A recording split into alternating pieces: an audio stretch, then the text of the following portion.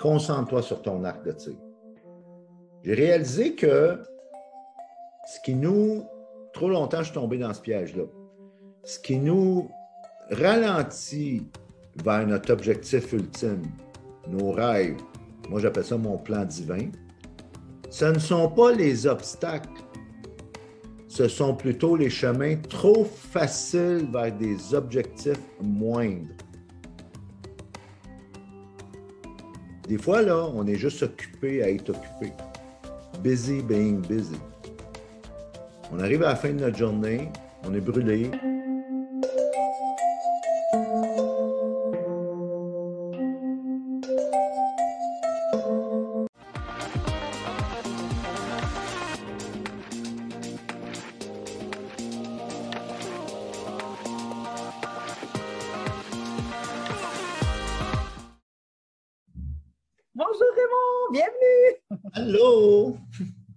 Va bien?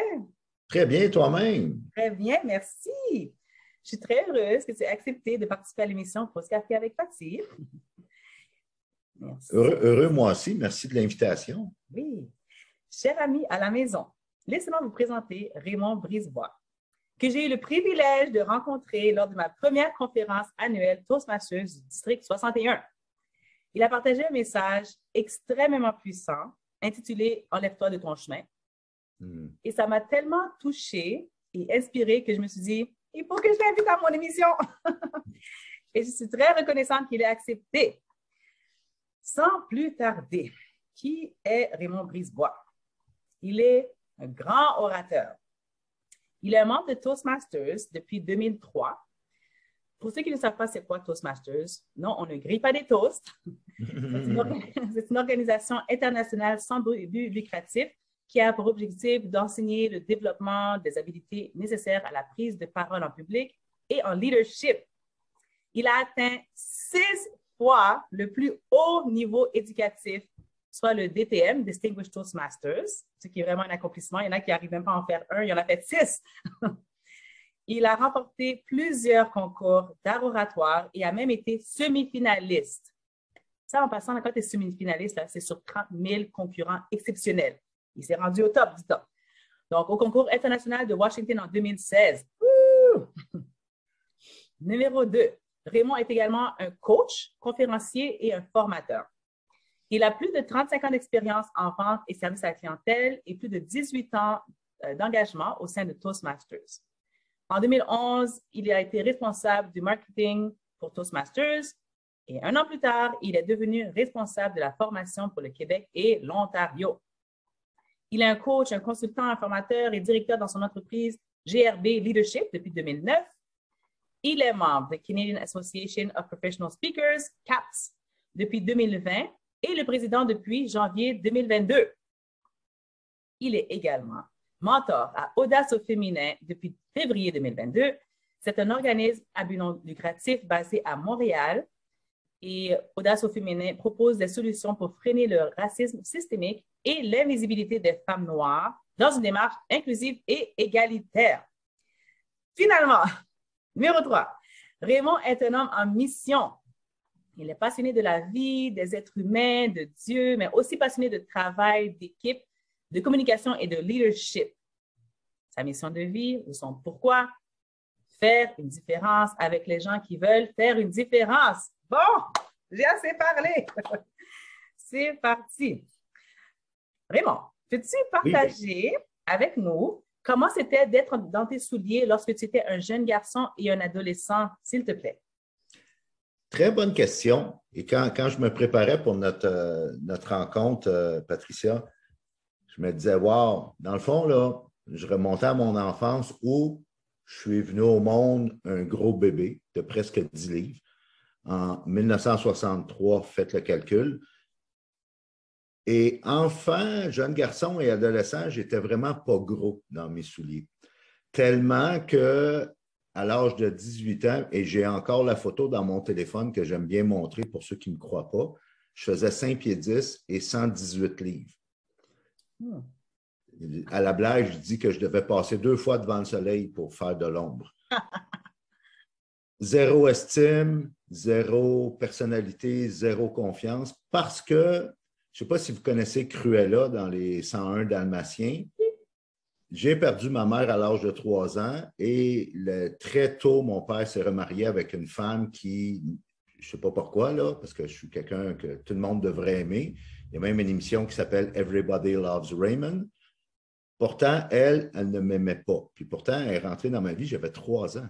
Hmm. Alors, ce qui a fait que j'ai eu une enfance assez euh, difficile. C'est sûr, euh, pas été tellement battu physiquement parce que je, me considère assez intelligent, je me rangeais pour éviter les coups.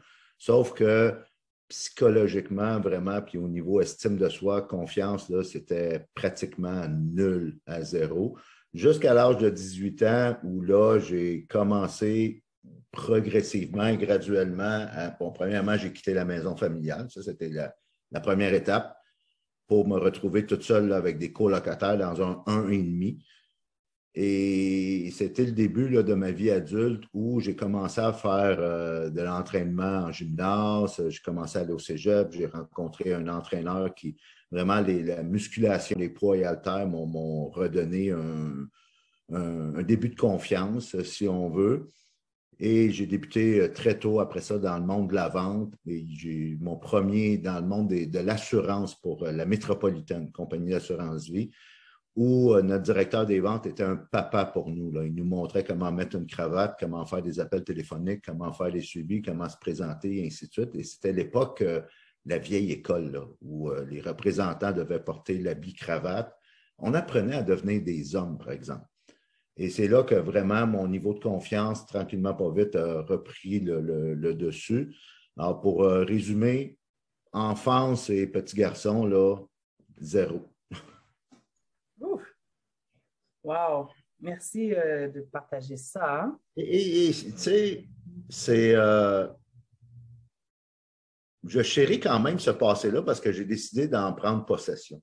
Mm. Souvent, on veut éviter le passé, sauf que le passé est quand même tout le temps là. Il y a un, auteur euh, espagnol dont j'oublie le nom qui disait que les larmes sont comme une rivière qui nous amène à un endroit meilleur. Hmm. C'est beau ça. Prendre possession de ce passé-là, pour moi, comment dire, a forgé l'homme que je suis devenu aujourd'hui. J'ai décidé de l'utiliser comme effet de levier. J'ai décidé d'en prendre possession pour que ce passé-là me serve hmm. maintenant. Ce qu'on peut tous faire. c'est beau ça.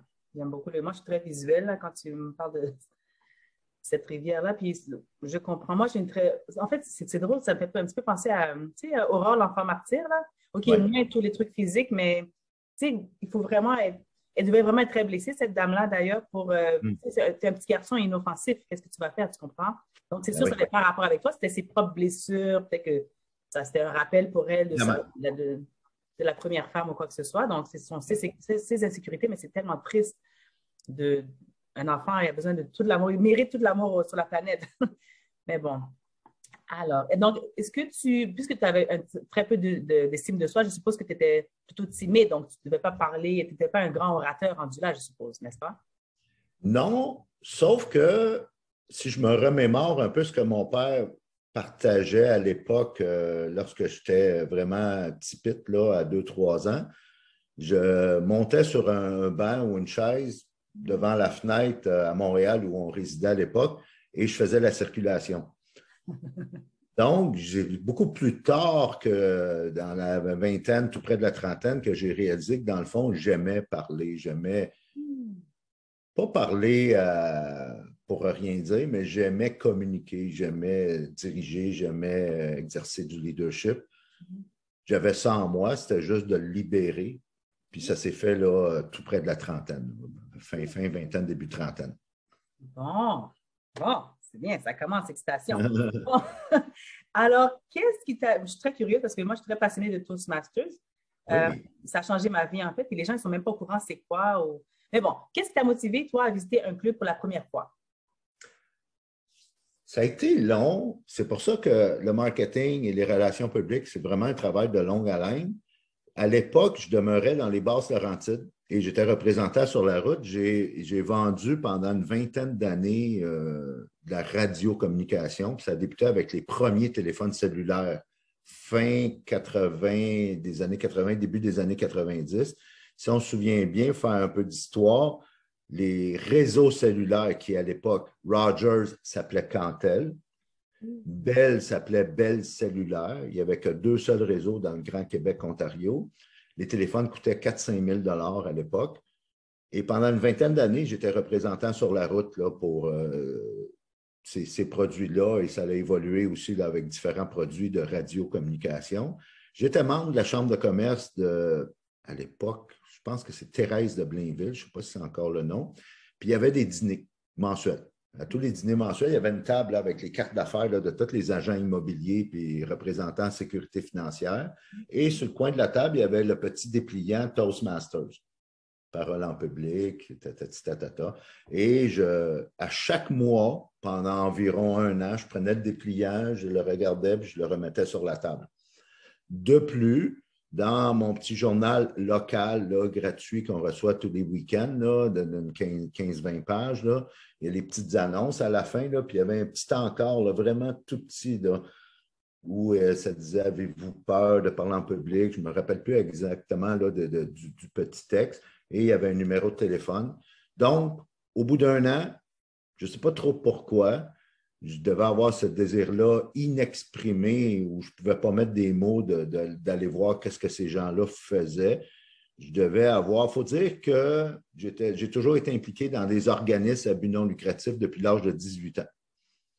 Et je devais avoir une trentaine d'années environ. Je n'ai pas fait le calcul exact, là, c'était en 2003, donc 2002, 2003 à un moment donné, je prends mon courage à deux mains, j'arrête de procrastiner, je prends la petite annonce dans le journal, je prends le téléphone et j'appelle la dame qui était le, contact à l'époque, qui est encore membre Toastmasters d'ailleurs, euh, encore à ce jour, Mme Lise Blondin, hmm. qui est au réseau des femmes d'affaires du Québec en passant. Hmm. Là, ben, je lui pose des questions, elle m'invite à une rencontre gratuite. À l'époque, les communicateurs de la Rive-Nord qui aujourd'hui sont à Sainte-Thérèse le mercredi matin. À l'époque, ils étaient à Rosemère, dans un autre local tout près. Je suis allé à une première rencontre, puis je pense que j'ai, si je me souviens bien, j'ai adhéré le jour même, euh, en tout cas, vraiment dans les débuts.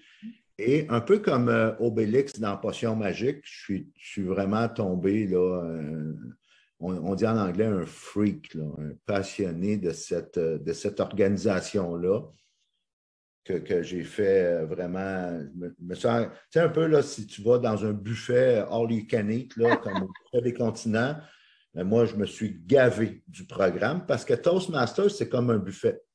Tu peux juste mettre la, petite orteille à l'eau pour voir si l'eau est froide ou tu peux te gaver dans le buffet.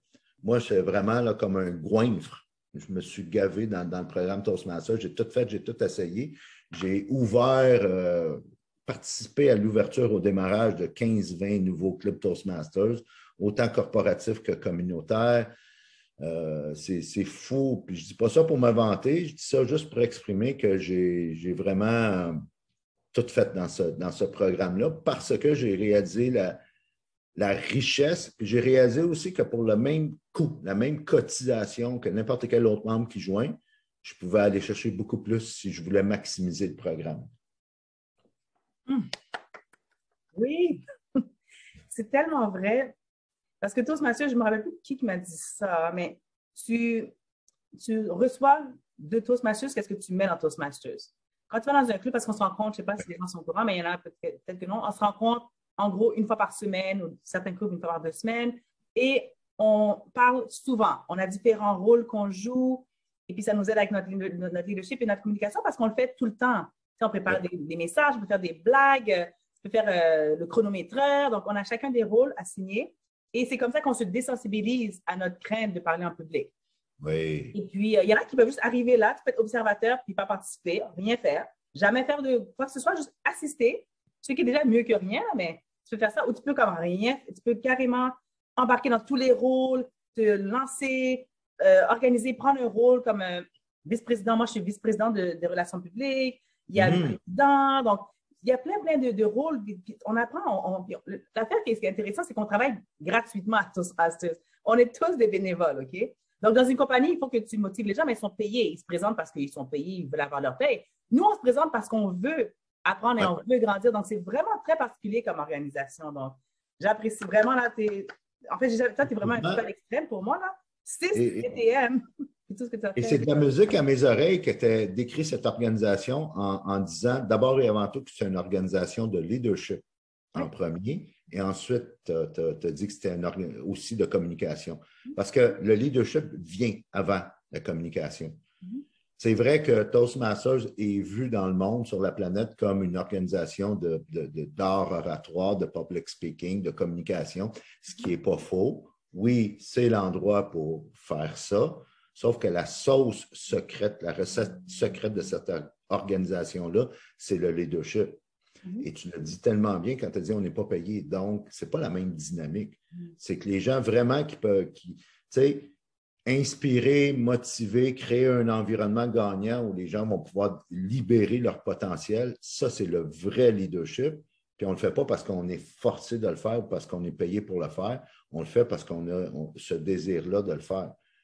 C'est vraiment, moi, ce que je trouve malheureux, c'est que malheureusement, dans nos CV, on n'a pas l'opportunité de mettre assez en valeur l'expérience qu'on va chercher chez Toastmasters parce que ça a beaucoup plus de valeur que n'importe quel autre euh, environnement de formation parce que justement, on n'est pas payé pour le faire, puis c'est le leadership dans son, toute son essence la plus pure. Oui. En fait, c'est pas juste faire une petite question parce que je suis curieuse. Moi, je, suis une de tes fans numéro un. Je viens juste de te découvrir. Je ne sais même pas comment ça se fait que, euh, en ce cas, c'est une très belle découverte. Et puis, je, remarque que souvent, tu partages des euh, publications par rapport à la puissance de Dieu ou qu'est-ce que ça, Dieu apporte dans notre vie. Donc, je suis juste curieuse de savoir si tu pourrais partager pour quelles raisons on dirait que tu as orienté ta vie ou peut-être tu as donné ta vie au Seigneur? Ça, c'est une bonne question parce que quand tu m'avais à l'avance euh, préparé à cette question-là, mhm. je n'avais jamais fait la réflexion qu'est-ce qui m'avait amené parce que ça s'est fait de façon naturelle. Mhm. On, a parlé en début d'entrevue de, de mon enfance et ce que je me souviens, c'est que tout petit, là, quand vraiment, là, exemple, si mon père était parti au travail ou à n'importe quelle autre activité, puis que j'étais pris dans la maison avec la belle-mère qui me terrorisait, je m'enfermais dans ma chambre et je priais. Alors, personne n'avait montré à faire ça. J'avais je sais cette conscience-là que Dieu existait et je priais vraiment qu'il vienne me, réconforter, qu'il je me rappelle plus exactement, là, mais bon, je, me souviens vividement que je, priais tout petit. Je viens de les, Québécois francophones, on a un gros euh, arrière-plan, si on veut, la culture catholique. Sauf que j'avais comme cessé, je n'étais pas attiré vraiment par l'Église catholique, j'avais cessé de, pratiquer à part les, mariages, les funérailles, la messe de minuit, puis ces choses-là, les événements récurrents qu'on a à l'intérieur de l'Église catholique. C'est dans les années, fin des années 80, c'est une personne que j'avais eu une relation, qui d'ailleurs est la mère de mon premier enfant, de mon fils, avait été amenée par des amis dans une église chrétienne évangélique à Montréal. Et elle a eu euh, l'idée de m'inviter. Je suis allé c'est en 89, je me rappelle, printemps 89 environ. C'était le, cette église-là existe encore d'ailleurs, c'est dans l'ancien cinéma Le Château, au coin Bélanger-Saint-Denis, le centre chrétien métropolitain. Oh Bâtiment historique, là, vraiment euh, magnifique, un ancien euh, théâtre, cinéma là, qui a été préservé d'ailleurs, monument national, monument historique. Là, je suis rentré dans cette église-là, puis tout de suite, euh, c'est sûr, il y a un petit choc culturel quand tu viens d'un background, euh, pardonne-moi l'anglicisme, catholique, qui est très, euh, comment dire, traditionnel, on va dire ça de même, et que tu arrives dans une église pentecôtiste, il y a un choc. Sauf que c'était un bon choc. Et je me suis assis avec le pasteur, euh, ça, a donné comme ça, probablement qu'on m'a spoté euh, comme le petit nouveau dans, la place. Je me suis assis avec le pasteur à, l'époque, à la fin. On a jasé un peu et c'est là que sur place, j'ai donné ma vie au Seigneur, baptisé dans l'eau euh, selon ma propre volonté, peut-être quelques mois plus tard, là, je ne me rappelle plus exactement. Et depuis ce temps-là, ben, je suis en relation avec Dieu depuis 30, 30 quelques années maintenant. Wow, c'est vraiment une belle histoire. Merci, euh, c'est. Ben, moi, c'est ben, plutôt similaire. Moi, j'ai été, été élevée catholique toute ma vie euh, parce que moi, je, suis d'origine haïtienne, donc c'est sûr, euh, toute la communion, tout ça, j'ai passé à travers. Mais j'aimais beaucoup, j'aimais bien l'histoire du petit Jésus, tout ça. Mais après ça, rendu à l'adolescence, ils m'ont perdu complètement. Déconnecté, là, moi, ce que, euh, puis c'est vraiment ça. C'est juste qu'ils m'ont perdu. Vraiment, euh, le message ne me parlait plus du tout. Et là, je me suis perdue littéralement dans la vie. Mais euh, puis c'est après vraiment une grosse séparation. Puis vraiment, je ne voyais plus c'était quoi le but de ma vie ou quoi que ce soit. Donc c'est là que j'ai dit, tu sais quoi, je vais, donner une petite chance. tu sais, c'était le petit Jésus, mais j'ai donné une chance à, Dieu. Tu sais, quelque chose de différent. Moi, j'étais zéro spirituel. Moi, j'ai un bac en informatique. Je suis très cérébrale, très mathématique. Mm-hmm. très logique. Donc, je me suis dit, c'est quoi, je vais essayer quelque chose de différent parce que tout ce que j'ai fait pendant des décennies et des décennies, ça m'a amené à, à, la misère. Dans le fond, c'est pas compliqué. Donc, euh, puis c'est depuis septembre 2018, donc j'ai commencé un processus lentement. Puis c'est vraiment un pasteur évangélique, Nicky Cruz. D'ailleurs, j'ai fait une vidéo là-dessus, là, euh, comment il a changé ma vie complètement. Et puis depuis ça, ça fait mm. depuis octobre 2018, là, je me suis, j'ai aucune raison de retourner parce que cet amour inconditionnel tellement envahissant qu'il n'y a aucun être humain qui peut m'aider de la manière que Dieu m'aime, tu comprends? en tout cas, ça, c'est une autre histoire pour euh, une autre vidéo. Mais en gros, merci beaucoup pour ce partage parce que j'étais vraiment. C'est très rare que, surtout au Québec, je trouve que les gens, à moins qu'ils soient vraiment partis, ils font partie d'une église de façon évidente, là, qui partagent des messages comme ça. Puis toi, c'est pas mal régulier. Donc, j'aime beaucoup tes messages en passant. Merci beaucoup. merci. C'était un processus parce que sans m'en rendre compte de façon inconsciente, j'ai longtemps souffert de ce qu'on appelle la dépendance à l'approbation. Tu sais, rester dans le moule, si on veut vraiment, si on sait qu'un message va peut-être euh, heurter ou être différent ou sortir du lot, on n'ose pas le partager. Et il est arrivé différents événements dans ma vie où ce que là, je me suis dit, c'est assez je ne peux, pas peux pas faire une différence et plaire à tout le monde, il faut que je choisisse. C'est là que j'ai décidé de faire une différence, même si ça peut heurter, entre guillemets, certaines personnes, parce que c'est comme ça. Puis je n'ai plus de temps à perdre maintenant. Alors, je ne me prive plus de, partager parce que de toute façon, tout est dans l'intention. Puis mon intention, c'est de faire une différence puis de faire le bien. Mm-hmm. ça se peut que les gens soient choqué un peu, entre guillemets, de, de, de, messages qui est peut-être un peu plus euh, spirituel ou à propos de Dieu. Mm-hmm. Et honnêtement, je m'en fous. Absolument. Non, je suis d'accord avec toi. Euh, parce qu'il faut dire aussi au Québec, c'est très particulier. Hein. Parce qu'il y a eu beaucoup de traumatismes, euh, il y a eu beaucoup d'abus, beaucoup de contrôle. Écoute, là, je ne vais pas marquer dedans, là, il faut regarder dans les livres d'histoire, mais en gros, c'était très particulier. Donc, c'est pour ça qu'il y a eu un rejet complet de la religion, comme rien savoir. Là, donc, il y a une aversion même par, plusieurs personnes, mais des fois, à un moment donné, quand il arrive, comme là, à mon église Nouvelle Vie, c'est une immense église euh, avec le pasteur Claude Hood qui, qui est à la tête de tout ça, mais sur huit sites différents, etc. Donc, il y a un besoin, il y a une soif. C'est ce que je veux dire. Il y a une soif parce que on vit, on se lève, on travaille, on rentre, on regarde, on regarde les nouvelles, puis on va se coucher. Il y a, on, vit une vie sans but souvent, les gens, il y, a, hmm. tellement un haut taux de suicide, particulièrement aussi au Québec en plus. Écoute, donc c'est vraiment, c'est une solution. Moi, je ne suis pas le genre à mettre quelque chose dans la gorge de quelqu'un, comme prends-le ou, prends-le pas. Moi, j'ai même deux chaînes. J'ai bifurqué, j'ai une chaîne Toastmasters pour laboratoire, puis j'ai une chaîne spirituelle. Puis j'ai remarqué qu'il y a des gens, j'ai par exemple ma boss, salut Marianne, elle n'est pas hmm. du tout spirituelle, du tout, c'est son truc. Mais euh, bon, elle me suit sur ma chaîne Toastmasters, donc tous mes collègues, pas mal, ils me suivent. Puis là, j'ai vu qu'elle a commencé à me suivre sur ma chaîne spirituelle. Puis je dis, mais Marie, tu sais, tu parler de ma spiritualité chrétienne et tout ça. Donc, ça m'a surpris. Pourquoi est-ce que tu t'es inscrite? Puis elle m'a dit, Patricia, même si tu parles de comment tu mets tes chaussettes le matin, je vais vouloir t'écouter. J'étais comme, wow. donc, ça, je dis, OK, tu sais, comme vraiment, on s'en a quelque part ici. Donc, il y a des gens, c'est ça. Donc, j'essaie juste de ah parler, mais ce n'est pas pour tout le monde. Mhm. J'ai une citation, j'ai le goût de te partager là-dessus. Là. Mhm sais pas si, je peux la, retrouver assez vite, c'est que j'ai un, de mes contacts justement sur mes médias sociaux qui, justement, il se dit athée, il dit non, croyant. Il sait que moi, je le suis et il me partageait humblement dernièrement qu'il aime quand même lire ce que, ce que je publie à propos de ma spiritualité. Mm-hmm. Ça, dit tout, puis ça me ramène à la citation qui dit, je vais la paraphraser, là, parce que je ne la retrouve pas, ça dit, vis ta vie de telle façon que ceux qui ne croient pas en Dieu, quand ils vont te voir comment tu te comportes, vont avoir le goût d'y croire.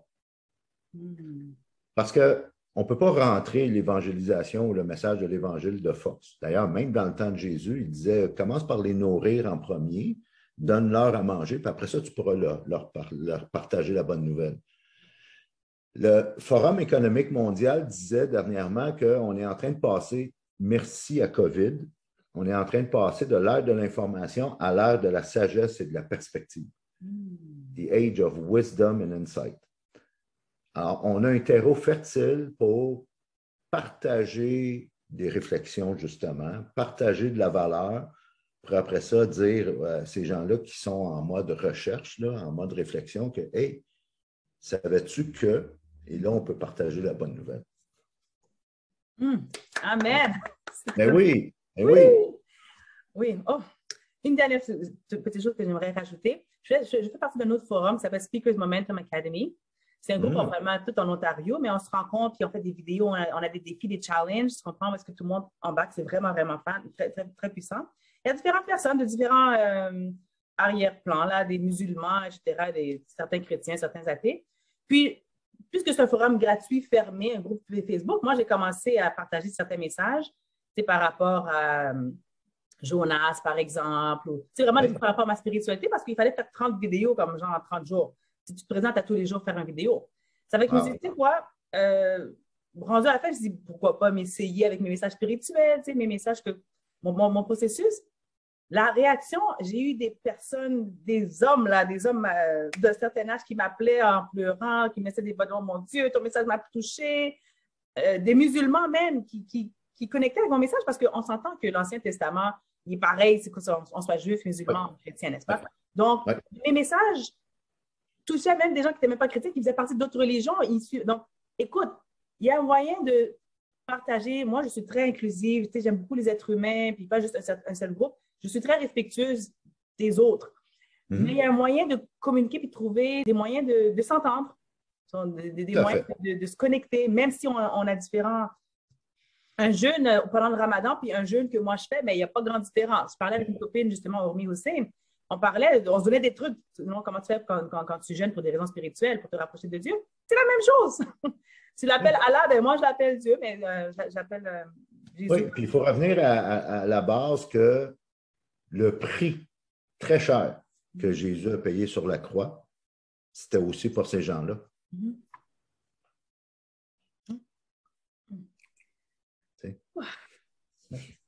Merci. Oh, j'ai vraiment j'ai fait, un, tour, mais très bien. Merci beaucoup. Au moins, je suis contente d'avoir parlé de ça avec toi. Parce qu'on ne parle pas souvent de ces sujets-là. Alors voilà, on l'a fait. Euh, Raymond, peux-tu nous partager les événements qui ont, si, si tu, ce, que tu es prêt à partager, les événements qui ont bouleversé ta vie et comment as-tu été en mesure de reprendre goût à la vie par la suite, s'il te plaît? Oh, ça c'est. Euh, en fait, quand j'ai fait, on parlait tantôt de, mon parcours Toastmasters, que j'ai fait de la compétition. Euh, j'ai commencé à faire de la compétition en 2014 et en fait, je pense que c'est Darren Lacroix, un ancien champion mondial, qui disait que fais pas des concours pour faire des concours, commence par le message, puis après ça, tu pourras te servir des concours pour partager ton message.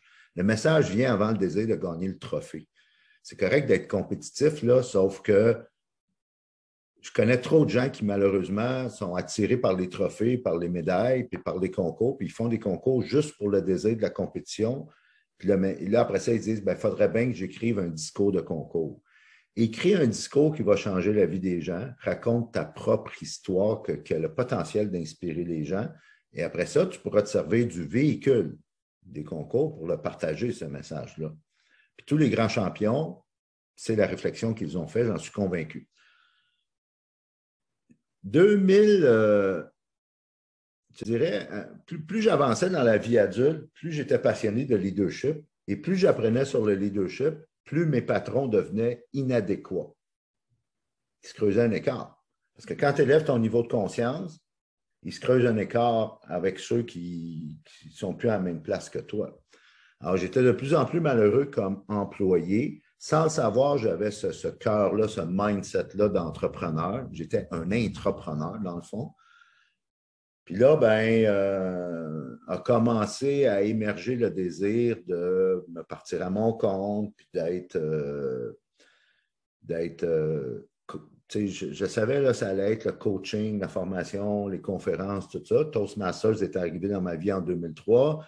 J'ai été dix ans, pendant une dizaine d'années, coach de hockey à un niveau assez élevé, là, niveau élite. Je coachais des 16, 17, 18 ans, niveau très compétitif.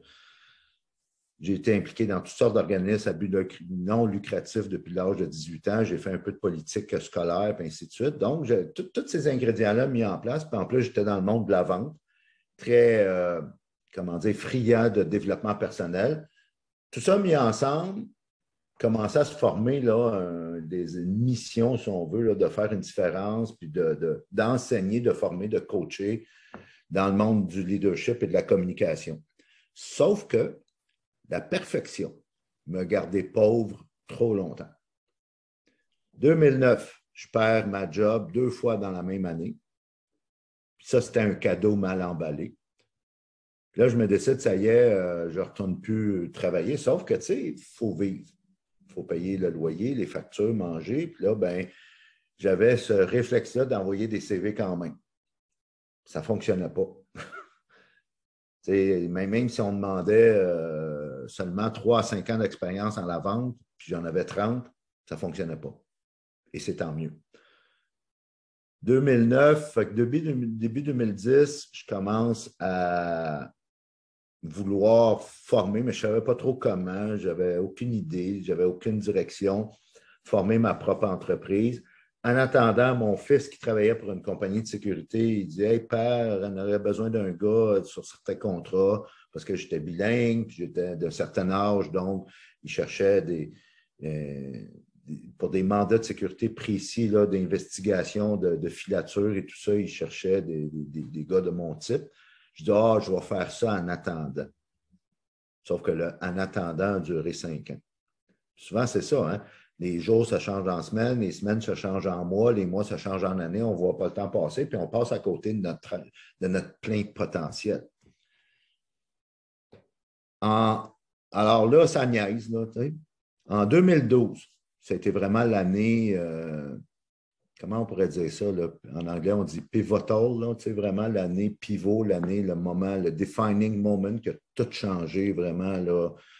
C'est que j'ai une fille, Marianne, qui a 16 ans à l'époque, en 2012, et on est en froid, elle et moi, parce que je suis séparé de sa mère. Marianne, c'est une petite toffe, là, euh, caractère de son père qui. Euh, Vraiment, elle ne se laisse pas piler ses pieds, puis vraiment, elle a un gros désir de justice, puis elle, se pogne, là, chicane avec tous ses professeurs. En tout cas, vraiment, là, un cas, euh, comment dire, rock'n'roll. On a une relation, étant donné qu'elle et moi, on a vraiment deux, deux égaux là, qui s'entrechoquent, qu'on a une relation où on ne se parle pas. 2012, le 4 juillet, autour de 20 heures, ben, elle se ferait frapper par un train. Elle prenait un petit raccourci pour aller rejoindre ses amis et elle s'est fait ramasser par un train à Sainte-Thérèse. Et là, évidemment, tellement, comment dire, blessé, magané, dans un coma, que trois jours plus tard, le 7 juillet 2012, à 11h, 11h42, ben, sa petite main dans ma main, elle a rendu son, dernier souffle.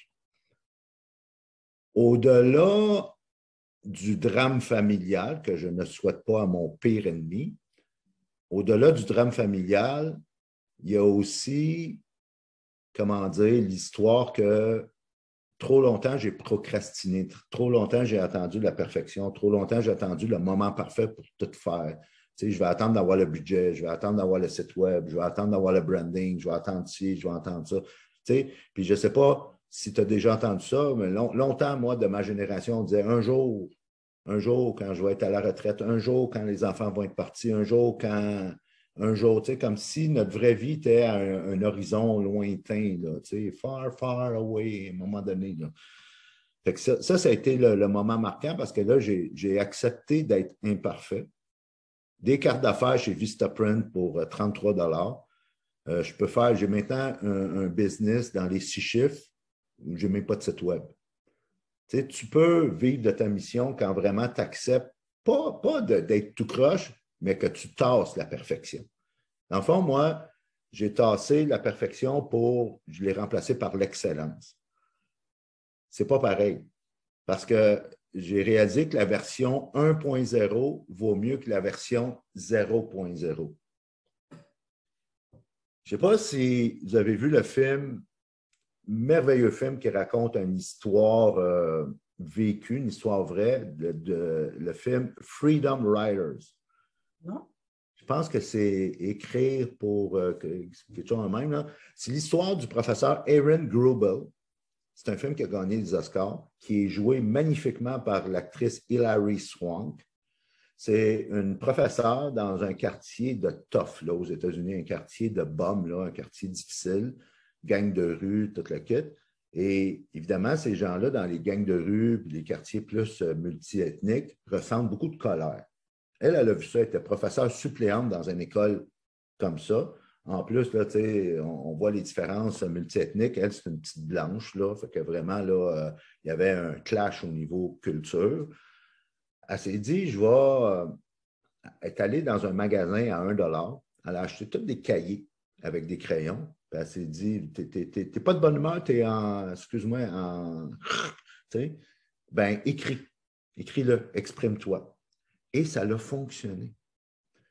Euh, cette professeure-là, elle existe encore d'ailleurs, elle a reçu des prix, elle a été honorée parce qu'elle a réussi à prendre leur colère, la canaliser, puis en faire quelque chose de, créatif. Dans le film, à un moment donné, dans l'histoire, euh, l'actrice principale, ça va vraiment pas bien. Là, un moment dans le film là, où tout est sur le bord de s'écrouler. Elle va voir son père, qui est un directeur d'école à la retraite.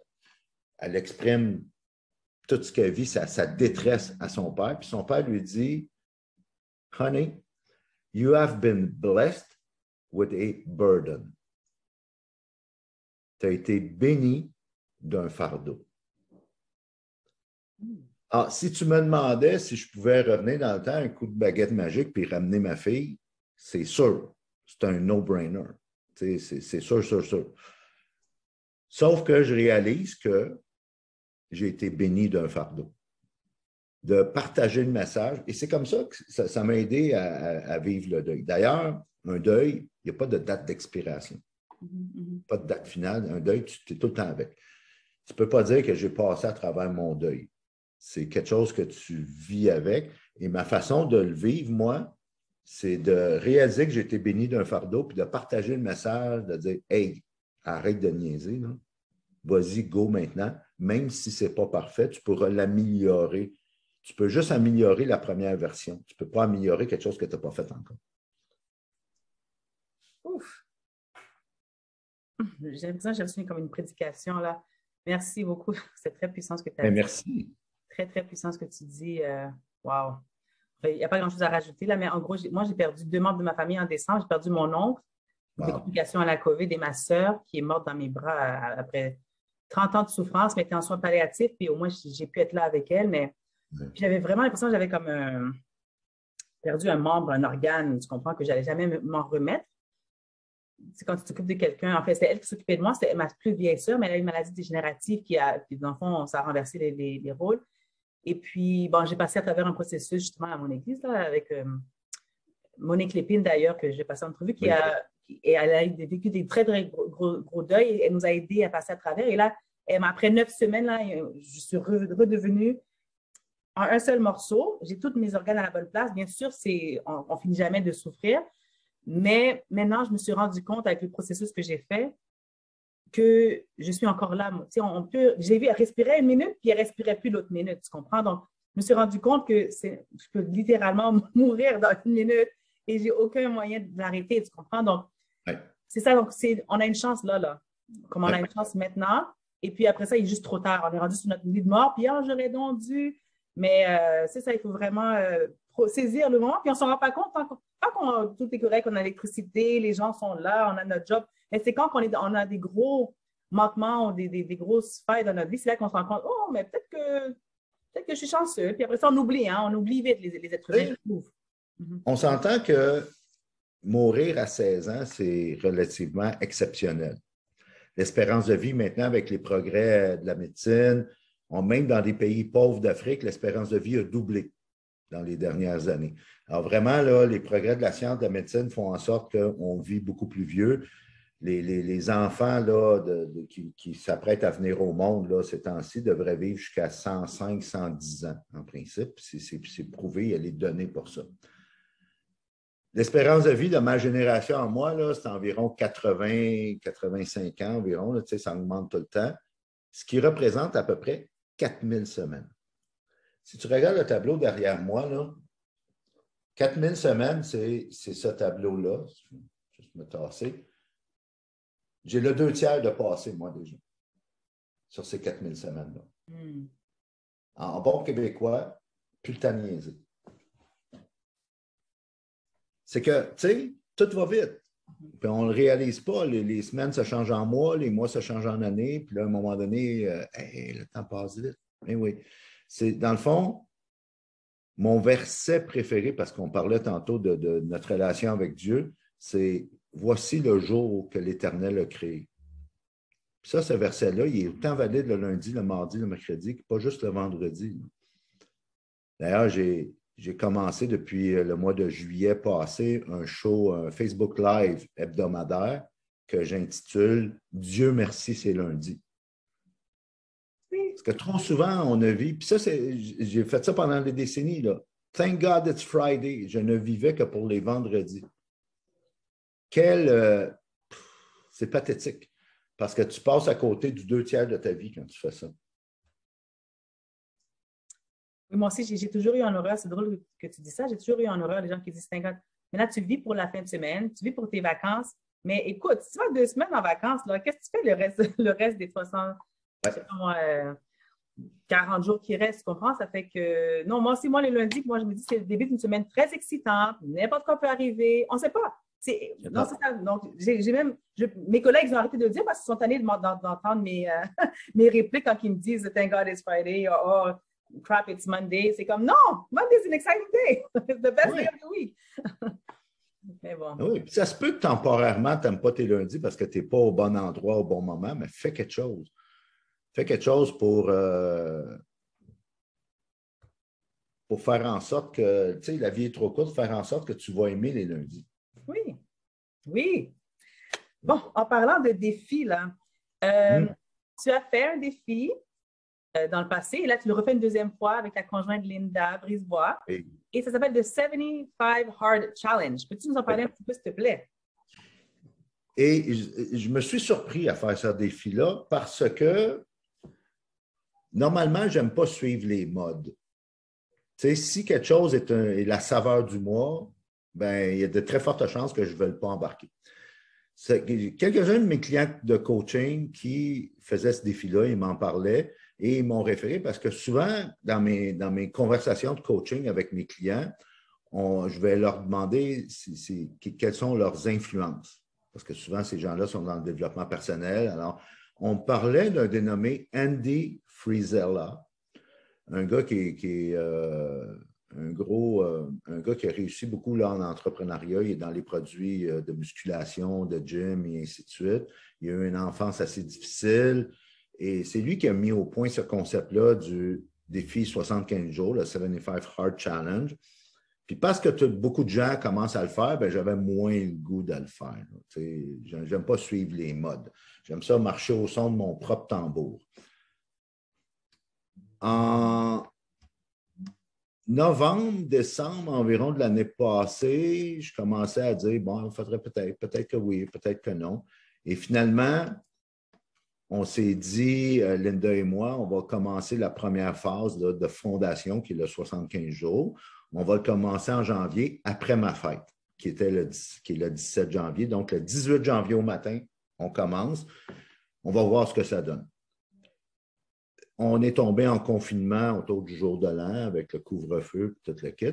Puis c'est là que j'ai dit, bon, ben, on commence tout de suite, le 3 janvier. Là, Linda m'a dit, ben, ta fête, non, Je dis, regarde, si je n'ai pas de fête, je vais moins vieillir. Je vais vieillir moins vite si je n'ai pas d'anniversaire. C'est ça la blague. On a commencé le 3 janvier. Ça consiste à deux entraînements par jour, dont un doit obligatoirement être à l'extérieur. Euh, il y a une diète, pas d'alcool, puis nous, on est des gros buveurs de vin. 75 jours, là, pour Linda et moi, c'est 60 bouteilles de vin en moins. Alors, le compte de banque grossit, puis la bedaine baisse. Très, très payant. Lire 10 pages d'un livre, ça, on le faisait déjà, pas de problème. Même 10 pages, ce n'est pas beaucoup pour moi. Je lis beaucoup plus que ça dans une journée. La diète, no cheat day, aucune journée de congé, c'est 75 jours parce que c'est un défi de mindset. C'est un défi mental, ce n'est pas un défi physique. Oui, on a perdu chacun 25 livres, Linda et moi, sauf que c'est les conséquences de. Ce pas, pas ça le but je me suis pris à aimer ce défi-là. Le coach en moi s'est mis à aimer ce défi-là après 5-10 jours, parce que j'ai réalisé qu'au-delà de la mode, là, puis de la tendance, puis de la saveur du mois, puis du défi, puis tout le hype autour de ce défi-là, il y a des leçons. Premièrement, tu es obligé de vivre une journée à la fois. Alors, si je suis au jour 13 de mon défi, je ne peux pas gagner le jour 14. Il faut que je gagne le jour 13. C'est tout. Une journée à la fois. Tu bâtis sur tes petites victoires. Il y a une application là, que tu peux télécharger dans ton téléphone où quand tu as fait ton premier workout, ton deuxième workout, tu as bu tes 4 litres d'eau, tu as fait ci, tu as fait ça, check, check, check, check, check, check. Puis à la fin de la journée, quand tu as gagné ta journée, ben, bravo, puis ça t'amène à, la journée suivante. Tu peux juste aller une journée à la fois. Il y a le principe aussi de redevabilité très puissant, sous-estimé comme principe. Là. Accountability, sous-estimé parce que, un, je le faisais avec Linda, puis je le faisais aussi avec un partenaire d'affaires, client et coach, mon ami Jocelyn, qui lui ici, on le faisait, on a commencé incidemment le même jour, donc on pouvait s'encourager là-dedans. Si on allait au restaurant, à un moment donné, ils ont ouvert les restaurants au mois de début mars, là, on est allé dans un restaurant, tout le monde buvait de l'alcool. Nous, on n'en buvait pas parce qu'on était sur le défi, puis ça nous encourageait d'être ensemble dans ce défi-là. Il y a aussi le fait qu'on ne pouvait pas dire, quand on commence le défi au jour 1, je veux perdre 20 livres, 25 livres, 30 livres, peu importe, parce que ça, tu ne peux pas le contrôler. Tu ne peux pas contrôler le résultat, tu peux juste contrôler le processus. Tu sais, toi et moi, là, peu importe notre génération, notre culture, de où on vient, notre différence d'âge ou quoi que ce soit, quand on est venu sur cette terre, il y avait déjà du monde. Puis quand on va partir, il va encore avoir du monde. En principe, là, On joue dans une game qui est infinie. Simon Sinek a écrit un livre brillant à cet effet qui s'appelle The Infinite Game il n'y a pas de ligne d'arrivée. C'est-à-dire que quand on va partir, il y a encore la game, le, jeu, le match va continuer. Alors, tu peux juste contrôler comment tu joues. Tu peux juste contrôler ta performance. Tu peux juste contrôler ton comportement, des actions, ce que tu fais pour faire une différence dans la vie des gens à chaque jour. C'est juste ça que tu peux contrôler. Tu ne contrôles pas le résultat. Alors, c'est pour ça que ce défi-là est tellement puissant. Fait que là, ce qu'il fait, c'est qu'il t'offre un, ce qu'il appelle la fondation, le premier 75 jours. Et si tu veux, tu as trois phases, phase 1, phase 2, phase 3, qui sont des phases de 30 jours. Ah, et il suggère de faire le 75 plus les trois phases dans la même année, dans le même 12 mois de calendrier. Nous, ben, euh, on aime encore le vin, on aime encore sortir au restaurant, on aime encore se faire plaisir, sauf qu'on ne va jamais retourner en arrière comme on était avant parce qu'on on se sent mieux, on dort mieux, on est plus performant, on est plus serein. C'est pour ça qu'on a mis dans le calendrier les trois phases de 30 jours, trois fois 30 jours, on les a mis dans le calendrier. Stratégiquement, on ne sera pas en défi pendant nos vacances. On ne sera pas en défi pendant le temps des fêtes. Alors, la troisième phase, qui va être la dernière phase de l'année, va se terminer, nous, début décembre. Après ça, on va avoir tout le mois de décembre là, pour se faire plaisir, sortir en famille et ainsi de suite. Sauf que c'est rendu que même quand on n'est pas dans un challenge, dans une des phases, ben on, fait, on fait quand même nos deux workouts par jour, on fait quand même notre lecture, on fait quand même notre méditation, on fait quand même euh, plein de choses qu'on a, c'est rendu en nous maintenant, c'est rendu une habitude. C'est même, tu sais, les nouvelles habitudes, quand on les implémente, vient un temps où c'est plus difficile de ne pas faire la nouvelle habitude que de la faire. Un, des, géants, une légende dans le monde du basketball, Larry Bird, il, tournait, euh, Larry Bird était dans le même temps que Magic Johnson et Michael Jordan. Il tournait une publicité de 7-Up. Et pour les besoins de la cause, il on lui avait demandé de rater le panier. Il n'était pas capable. Il n'était pas capable de rater le panier. À un moment donné, il a réussi, là, après plusieurs, euh, temps de tournage. Sauf que c'est la preuve que quand l'habitude devient en toi, c'est comme une seconde nature et ça devient plus difficile de revenir en arrière. c'est pour ça qu'on a aimé ce défi-là, nous, puis qu'on vraiment s'est rendu partie de notre culture, puis on, fait les autres phases parce que ça nous rend plus résilients, ça nous rend plus forts, ça nous rend plus en santé, ça nous rend plus aussi, surtout niveau mindset, là, beaucoup plus euh, focus, beaucoup plus fort. Bon, je pense que je vais aller regarder ça pour voir ça. Euh, parce que moi, je fais des plans de nutrition pour des personnes, en fait, c'est un truc que je fais avec mon église, etc. Ou pour des personnes dans, ma vie, parce que j'ai perdu beaucoup de poids à un moment donné en faisant un truc très, très extrême. Mais moi, j'avais un cheat day par semaine, par exemple. Donc, je crois mm. beaucoup à l'équilibre. c'est vraiment un style de vie. C'est pas une diète là, de deux semaines, puis euh, manger des céleri puis des carottes. là. C'est un style de vie. Puis il y a des centaines de personnes qui ont pu bénéficier du fait que j'aurais fait un plan. Mais j'aime bien ça. Là, j'ai commencé à faire des, arts martiaux. Ça m'a beaucoup manqué. Je suis vraiment intense dans, mes, dans mon Muay Thai. Mais ça m'intéresse ton truc. J'allais regarder ça. Merci pour le ah Oui. Ben oui, écoute. Il faut se garder en forme. Bon. Alors, tu as un horaire extrêmement chargé. Pourrais-tu juste nous expliquer un petit peu comment est-ce que tu trouves, ton équilibre dans tout ça? Comment tu mettais ta santé mentale? ah, ça, c'est une bonne question. Ben, euh, c'est vrai que j'ai un horaire chargé, mais je ne m'en rends pas compte. Parce que, il y a quelques années, on a parlé de Simon Sinek tantôt avec son livre The Infinite Game. Qui a mis au monde, si on veut, Simon Sinek, c'est Start with Why. Commencer par ton pourquoi. J'ai fait cet exercice-là par moi-même il y a quelques années. Je suis allé valider aussi dans une formation de Simon Sinek, merci à Zoom, que j'ai pu faire à distance. Quand tu définis ton pourquoi, tu te lèves le matin avec une raison.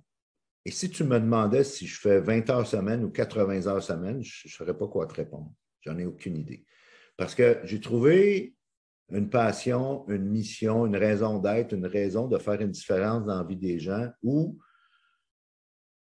je ne sens pas ce fardeau-là que je suis au travail ou je ne suis pas au travail. C'est comme, c'est sûr que je programme du temps de repos. D'ailleurs, euh, tout, tout, tout, tout, tout maintenant est dans mon agenda. Tout. Les temps que je dors, les temps que je fais une sieste, les temps que je suis au gym, les temps que je vais marcher, les temps que je lis, les temps que. Tout, tout, tout. Et ça me rend plus libre depuis que je mets vraiment tout, mais tout, parce qu'on a une seule vie. on n'a pas une vie à l'église, on n'a pas une vie au travail, on n'a pas une vie de famille, on a une vie. Et tous ces éléments-là viennent dans, dans cette vie-là.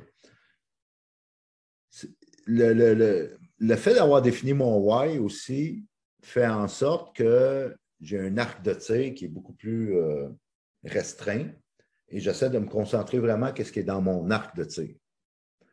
L'arc de tir, c'est un vieux principe militaire que quand tu es au combat, on va te placer à un endroit là, avec euh, ton, arme, on va dire ce qui se retrouve là entre la maison rouge qui est là, puis de l'autre côté, la maison bleue.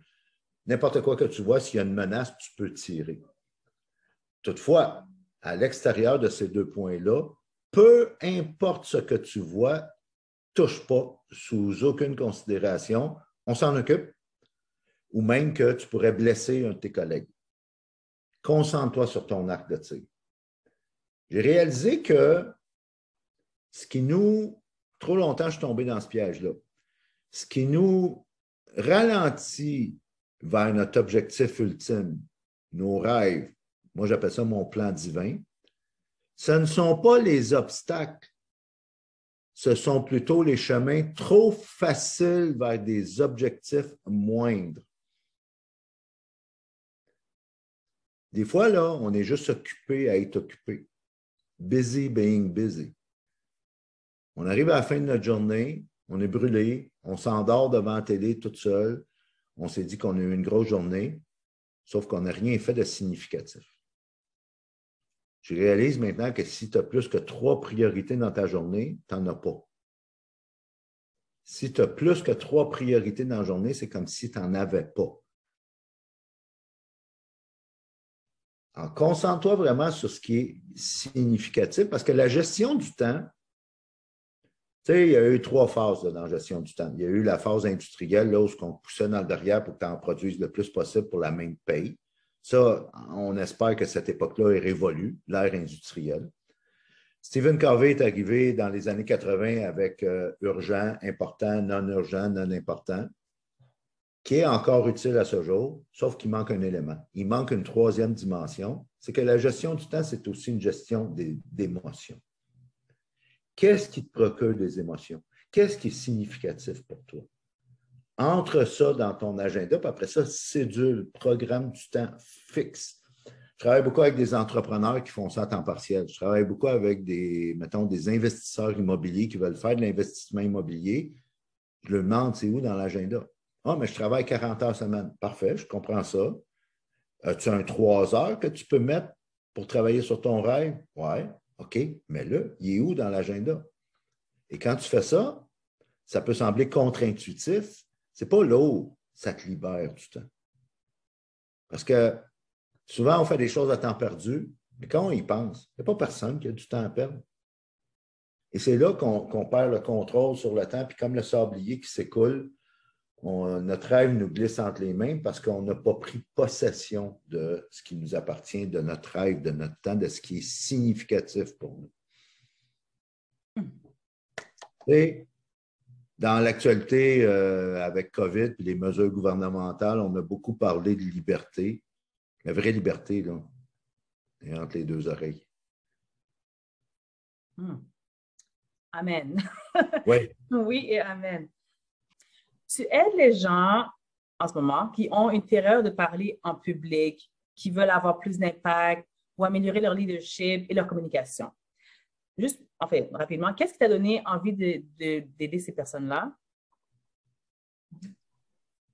Ben, j'ai réalisé un peu en lien avec mon pourquoi, j'ai réalisé que toute ma vie, j'avais, j'aimais former des leaders.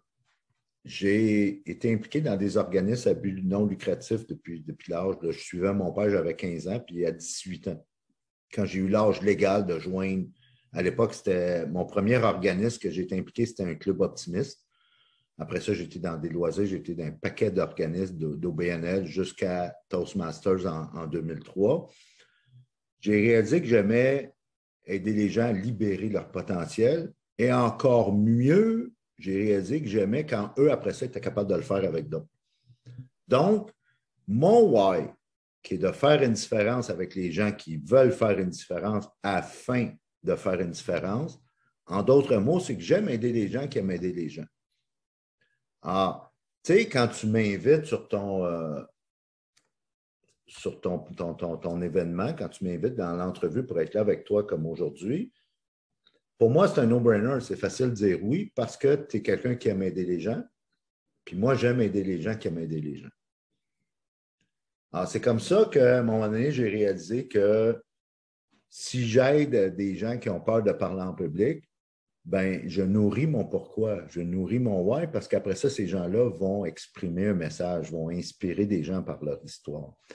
Et tout, là, quand on parle d'histoire, là, on n'en prend tellement pas conscience que tu sais, quand on est enfant, nos parents, nos, aînés, les gens qui prennent soin de nous, nous racontent des histoires.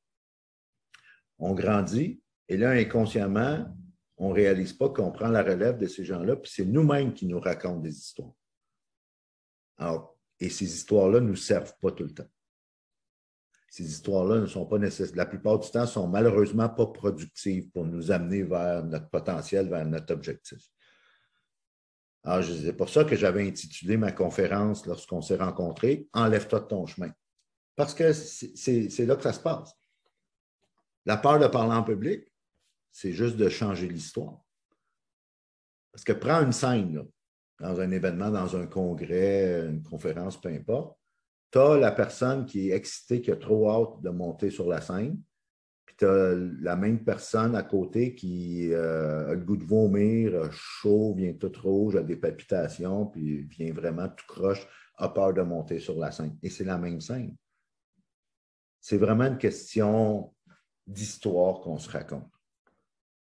Quand on revient à la peur de parler en public, j'aime dire à la blague que on sait qu'on l'a partagé que je suis croyant. Et si je pouvais bien humblement et respectueusement offrir une critique constructive à notre créateur, je lui suggérerais, de prendre notre nombril et de l'installer ici à la place.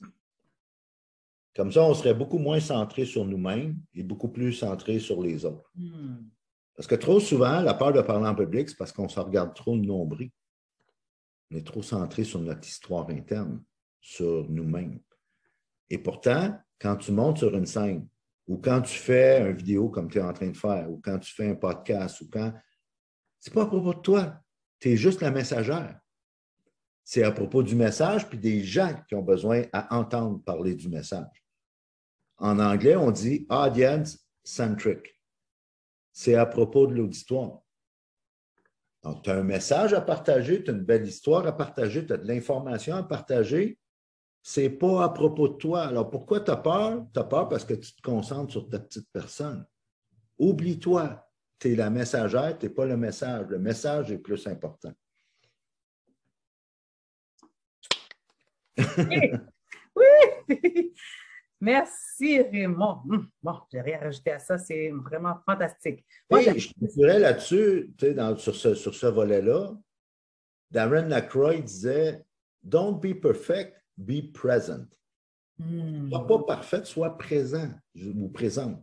Mm-hmm. C'est ça qui est important parce que tu as juste à être toi-même. Tu sais, si je vais dans un événement multi-conférence, multi-conférencier, conférencière, je ne m'attends pas à, mettons, à voir euh, John Maxwell se comporter comme Tony Robbins.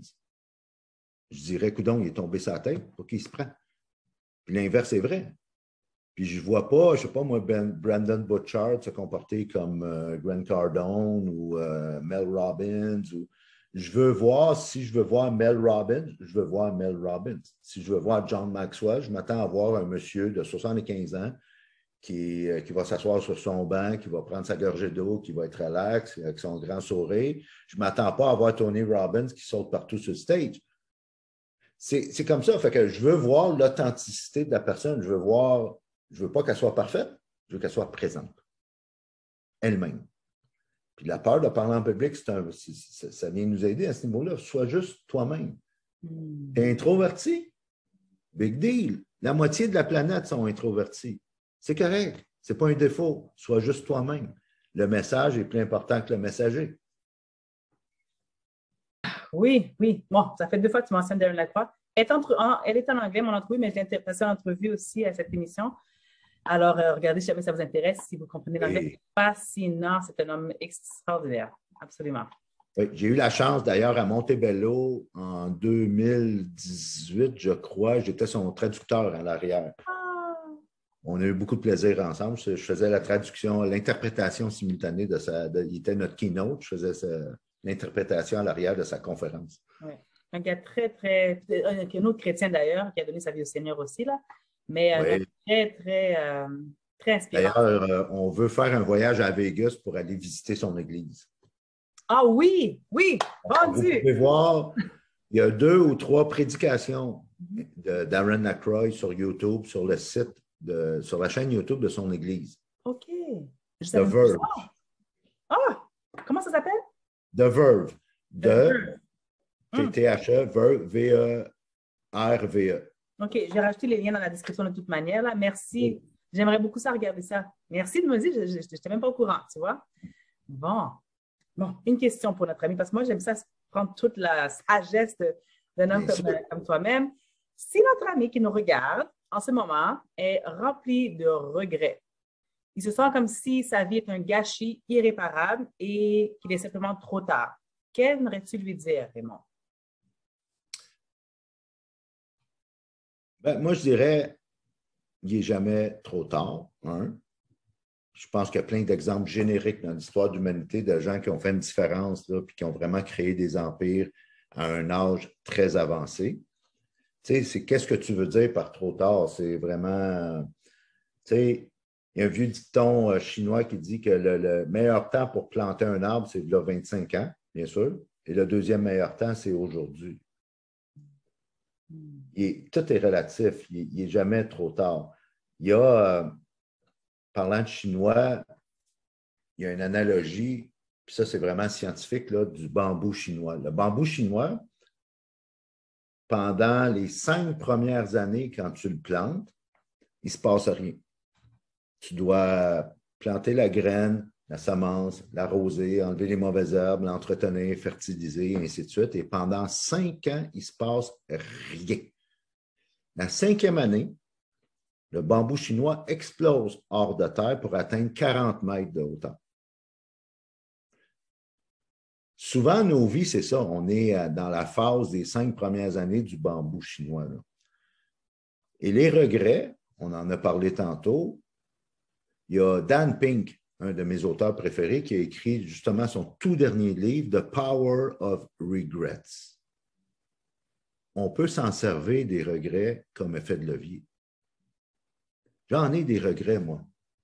Sauf que c'est des, je les ai changés en leçons, je les ai changés en, en apprentissage. On peut s'en servir de ces regrets-là pour justement, comme on disait tantôt en anglais, take ownership, en prendre possession en prendre le contrôle pour se propulser vers un avenir meilleur. Hmm. C'est en gros ce que je lui dirais. C'est vraiment de changer l'histoire. Changer l'histoire qu'on se raconte. Puis, puis quand, quand, je travaille en coaching, c'est sûr, il faut qu'il y ait un, petit désir minimum. Là, pour qu'après ça, on puisse travailler ensemble pour que cette personne-là puisse vraiment, que je puisse l'accompagner. Si, euh, si cette personne-là vient à moi et elle a zéro désir de changer, ben là, je ne peux rien faire. Hmm. Merci. Merci encore une fois. OK. Une de mes dernières questions. Si notre ami en ce moment, parce que d'après ce que le partage que tu as fait, tu as été victime d'abus, carrément. C'est un abus euh, certain euh, au, mains de Cruella. Euh, donc, si notre ami nous regarde est victime d'abus, que ce soit verbal, psychologique, émotionnel, physique, quel conseil aimerais-tu lui donner, s'il te plaît? Bien, euh, c'est sûr, je ne suis pas comment dire, je n'ai pas de compétences médicales ou psychologiques ou je ne suis, pas un thérapeute. Là. Je dirais, qu'est-ce qu'on peut faire pour que cette histoire-là puisse te servir. C'est vraiment là, qu'est-ce qu'on peut faire pour euh, tout ce que tu as vécu puisse inspirer des gens à justement se sortir de ça? Comment on peut utiliser comme effet de levier ce, traumatisme-là?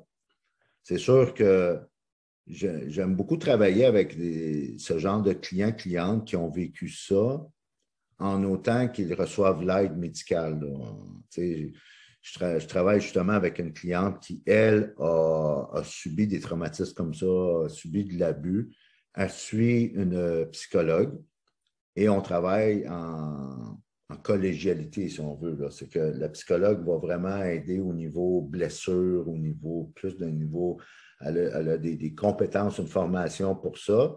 Puis moi, je vais vraiment aller après ça dans le plan d'action. Maintenant, qu'est-ce qu'on fait à partir de maintenant pour changer l'histoire, changer le narratif, pour t'amener à un autre niveau, pour t'amener à avancer, pour t'amener à passer au prochain niveau? C'est vraiment ça. Souvent, la vie nous envoie des cadeaux mal emballés. Et je pense que toute la crise planétaire qu'on a vécue, toute, la planète ensemble, ce qu'il y avait de particulier, c'est que on la vivait tous ensemble, à différents niveaux, bien sûr, sauf que tout le monde, comme être humain, on vit une crise, et même plus qu'une, même plusieurs, à des moments différents, ponctuels dans nos vies. Ce qu'il y avait de particulier avec COVID, c'est que c'est tout le monde en même temps qu'on était frappé par la, même crise. Il y en a qui, ça l'a, comment dire, ils n'ont pas vu le cadeau mal emballé. Puis moi, j'ai toujours eu en tête, à l'esprit, les paroles de Winston Churchill qui disait de ne jamais gaspiller une bonne crise. Ce que je dis souvent, parce que même euh, souvent, on dit en affaires, en business, il n'y a pas d'émotion. Totalement faux. C'est BS là, total parce qu'on est des êtres d'émotion.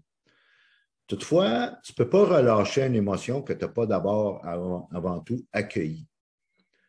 Alors, ce que je fais avec des, clients, c'est qu'il y, a un moment donné où il faut que tu la vives, l'émotion. Il faut que tu l'accueilles, que si tu as le goût de pleurer, ben pleure. Si tu as le goût d'être fâché, d'être frustré, d'être en colère, vis ces émotions-là, donne-toi un temps, mais après ça, OK, parfait, c'est fait.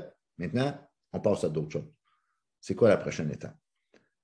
Il y a des, présidents, je, vois, je disais à un moment donné dans une revue de finances, des présidents de grosses organisations aux États-Unis qui se mettent à l'agenda à tous les jours du temps pour s'inquiéter genre 5 h moins 10 à 5 heures, ferme la porte du bureau, puis c'est 10 minutes où je, vais m'inquiéter. Parce que la beauté de ça, c'est que tu peux accueillir tes émotions pour après ça mieux les relâcher. Et quand ton temps pour t'inquiéter est terminé, bien, il est terminé. Tu passes à d'autres choses. Oh, j'aime. Ça, je n'ai jamais entendu cela, par exemple. Planifier du temps pour s'inquiéter.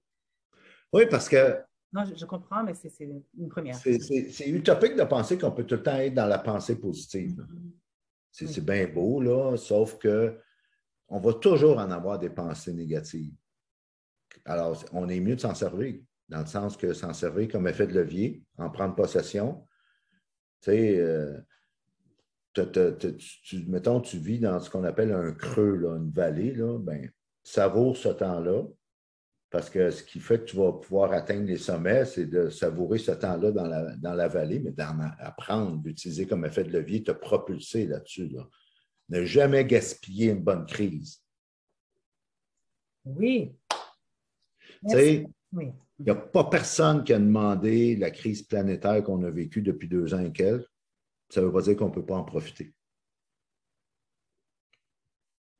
Oui, oui, absolument. Non, j'aime beaucoup ça. C'est de toute manière, il y a tellement de leçons que tu as données. Il faut que je réécoute cette entrevue encore. je l'ai édité, puis après ça, je vais réécouter par la suite. Bon, alors, quelle est la prochaine étape pour Raymond Brisebois? C'est quoi l'héritage que tu aimerais laisser à la planète Terre, s'il te plaît? Ah, c'est bon ça. Ben, mon message principal, c'est comment tu performes chaque jour. C'est de vivre la valeur, l'importance de chaque journée de ne pas attendre que tout soit parfait. Ce que, je m'apprête à faire d'un point de vue beaucoup plus, euh, comment dire, formel, c'est bâtir, euh, j'ai déjà commencé avec un partenaire des formations en ligne.